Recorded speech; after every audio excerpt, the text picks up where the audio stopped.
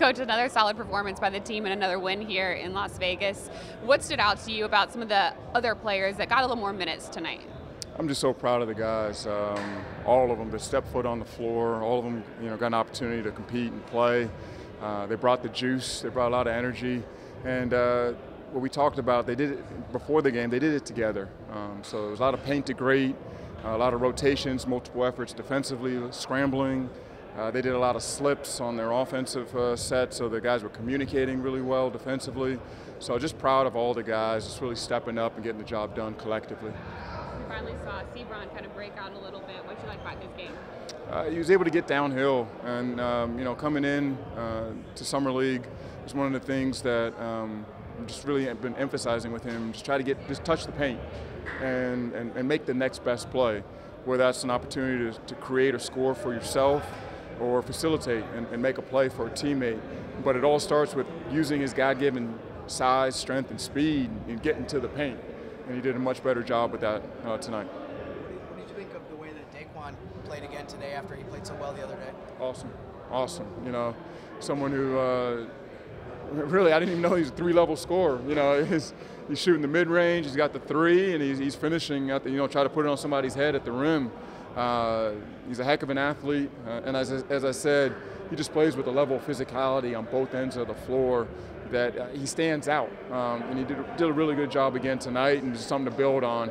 Uh, he tweaked his ankle. He came back on the bench, um, decided to hold him out and just give him an extra. We're gonna, we have a day off, and then we have the late game on Friday, so he should be rested up for uh, for Friday's night. How have you seen the chemistry start to develop on the team now that they've got a few games? As I said, just really proud of just, just the, the, the, high level character um, of all the guys. Um, it's really a credit to Griff and, and Bryson and Trajan and all the people in Swin bringing the bringing high character people into the organization because those guys are cheering and supporting um, one another. And you can see it on the bench.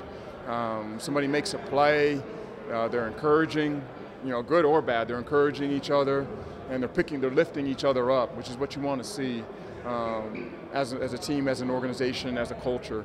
And they're doing a really good job with all of that, so it, it, it feeds into what we're about. this is day seven or eight of summer league. What does it mean to see? it's more than that.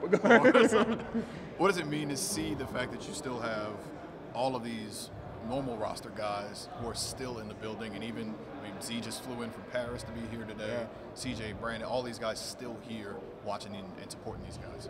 I think it's awesome. It, it, speaks to the culture that we're just talking about, uh, supporting one another as brothers, as teammates. Um, guys just really, just genuinely want to be around each other, want to hang out. And you saw, I know CJ and, and Larry and Jaxson and all the guys, and Zion, obviously, B, BI. Jose, Naji, you go down the list, Trey. I mean, all the guys are here to support one another and support their teammates, and it's a beautiful thing. Uh, and it just really just speaks to the culture and the environment that we have, and the high level of character um, guys that we have in our organization. Thanks, Coach. Right, thank you.